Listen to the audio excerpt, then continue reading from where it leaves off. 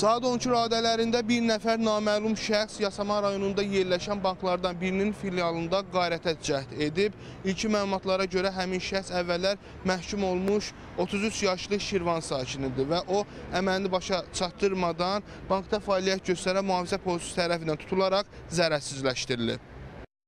İmran Əhmədov adlı həmin şəxs Dəmirlinklə bankın işçilərini hədələyərək pul tələb eləyib. O, bank əməkdaşına və ya vətəndaşa xəsarət yetirmədən zərərsizləşdirilib. Hadisə ilə bağlı daha ətraflı məlumat toplamaq üçün bankın içərisində çəkiliş aparmağa çalışsaq da buna icazə verilmədi.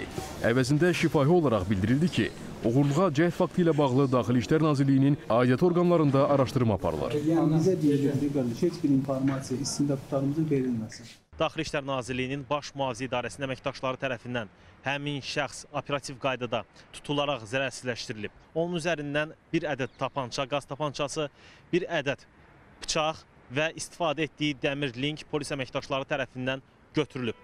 Qarətə cəhd edən şəxslə bağlı cəza tədbiri istintaq araşdırma tədbirləri başa çatdırıldıqdan sonra müəyyən olunacaq. Neftullah Məmmədli, Məmməd Vəliyev, Rauf Məmmədov, ASTV xəbər.